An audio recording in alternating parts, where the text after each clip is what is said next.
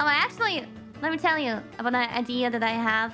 I have this stream idea. Um, I want to hire a professional marriage counselor. Like, of course, they I would explain them that, you know, it's a joke and this and that and this and this happened before with me and Reine and do a one-on-one stream with Reine with the marriage counselor um, where we, like, dramatically, emotionally, exaggerately our problems such as why she didn't tell me that she was gonna go to Japan when I was there already. Uh, stuff like that. Um, why this and that.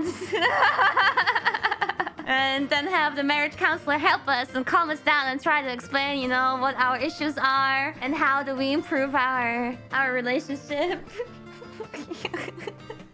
I thought that would be so funny. And Dana would like be like totally up for it, I think. But no, I want a professional, like legit a professional, but hopefully someone who is also funny and can joke with us. I, I just need to find someone somehow.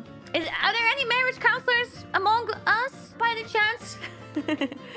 I was gonna just like look online for marriage counselors that I could hire and I'm like, hey, I have a really weird request for you, but it does pay. I will pay you like your normal marriage counselor fees and you can even advertise your marriage counseling service in front of a couple thousand of viewers.